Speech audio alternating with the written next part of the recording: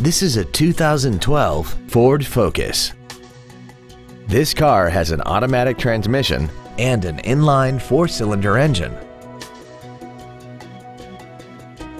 Its top features include a multi-link rear suspension, traction control and stability control systems, aluminum wheels, and a tire pressure monitoring system. The following features are also included. Air conditioning, a folding rear seat, cruise control, a six-speaker audio system, a leather-wrapped steering wheel, side curtain airbags, three-point rear seat belts, rear seat child-proof door locks, full power accessories, and this vehicle has less than 29,000 miles. We invite you to contact us today to learn more about this vehicle